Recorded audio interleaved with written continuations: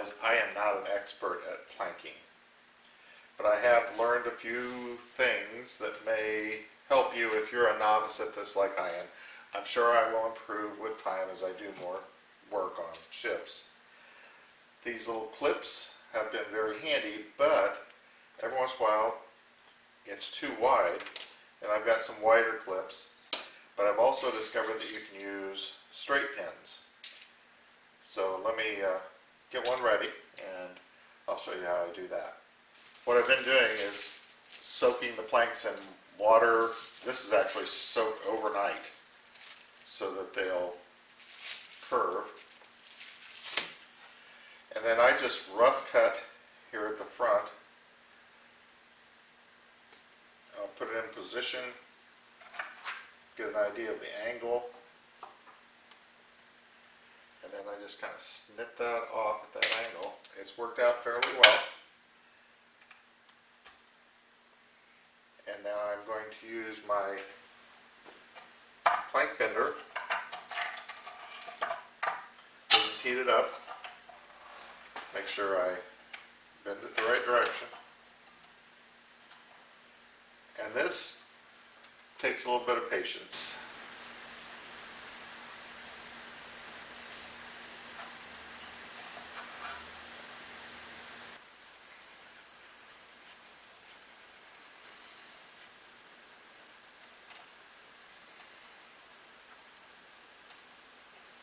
You can see it's slowly starting to bend, kind of rocking this heated iron back and forth.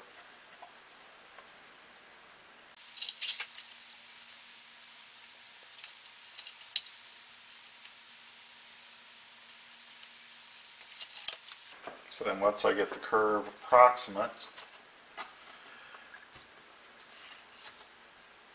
and I I need to bend it a little more through here.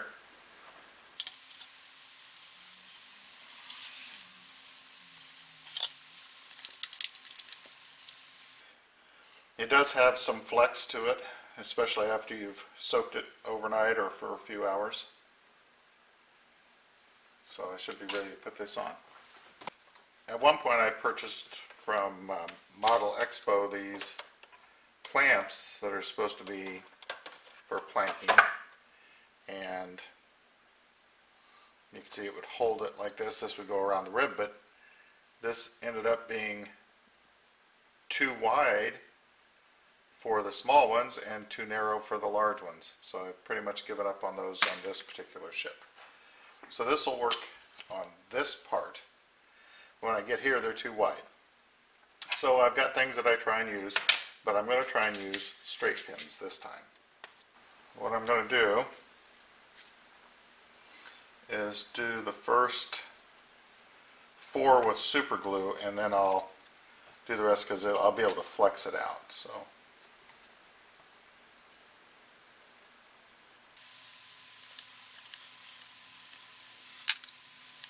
So on the very end, I'll hold that in place so it won't pop out. And then what I'm doing is I'm pushing upward and inward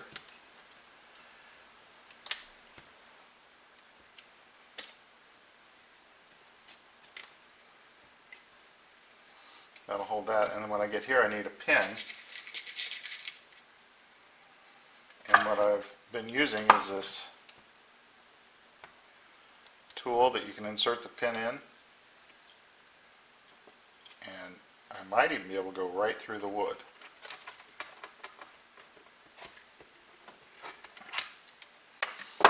And then I'm going to bend that. So that's going to hold that very tight. So this technique may work even better.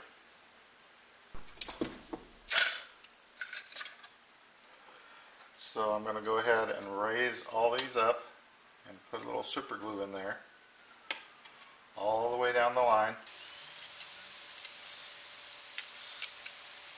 When I get to this last one, I'm just going to put it right on the edge. Well, you know what? I'm going to stop at this one.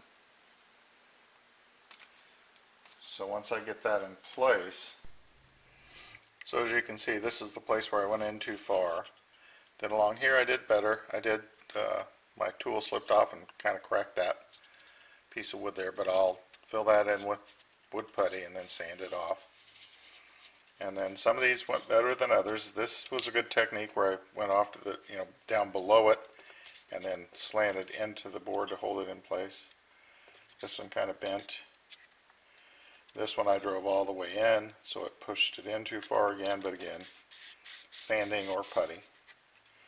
And this is the technique I like the best. I went in below the board and I'm holding it up, and this is where I will trim it off in just a minute, right along where this framing is, so that the next one can rest on this frame also. So I'll put that last little piece in. Again, I'm not the best at planking, but these will be sanded down and then I will put a, a top coat. I think I said uh, black oak. The actual top coat is black walnut. My apologies for that. What I'm doing now is shaping this plank to fit right in here.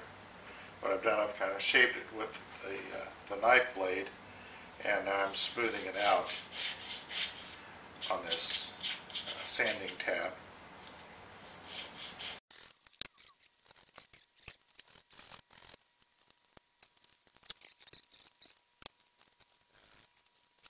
Ideally, I want this to be smooth. I'll still stain it. Uh, it'll be stained the uh, dark mahogany. So that'll, I've decided that's how I'm going to proceed. You do have to be careful when I'm sanding. I've been taking this, this sanding block because these are pretty thin wood and I need something to set on it so I can sand without risking breaking those off. I've just been using this drum sander and get rid of some of these uneven areas and that's what's nice about pre-staining your planking so you can see the dark space so that's a dip and I can try and smooth that out or put a little putty. On this one I'm probably going to put some wood putty.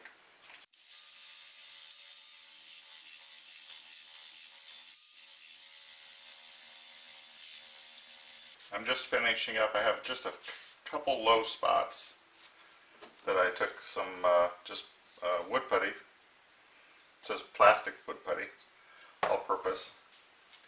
Filled that in and then I've just kind of scraped it off.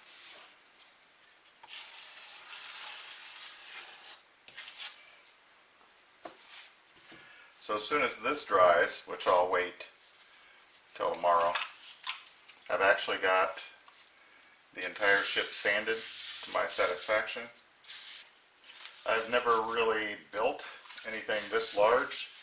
If you've seen some of my other videos, I've made some small, inexpensive ships. And this overall is inexpensive compared to uh, what's out there on the market. But I'm not, I'm not striving for perfection. I'm not striving for a museum quality build. I just am interested as a beginner hobby. And this was an inexpensive starter set. And I'm actually getting kind of excited about it and kind of proud of it. So stick with me. We'll let this dry and I'll try and figure out what the next step should be. I'm hoping that those of you that are watching this series, maybe you're like me, you didn't want to invest a lot of money, but you've always wanted to give this a try. And even though it's been difficult, I'm hoping that by my making this, if you have this same model, it'll help you when you get stuck in a, a, a spot. I have put a coat of stain on the what the lowest level or underside of the planking. I'm going to put planking on top of this, but if there was any light, I didn't want it to show through, so that's why I went ahead and restained it. I keep learning things as I go. I should not have attached this upper deck yet because there were things I needed to do inside. Uh, do some like wood paneling on the side walls, things like that. So leave this off um, well into the construction even after you put furnishings in the captain's uh, quarters. So that was another error that I come across that I did. And this is, actually, I even kind of like this look. But I've already committed to doing the outside, the entire thing in black walnut. So I'll keep working and post another episode once I have some reasonable progress.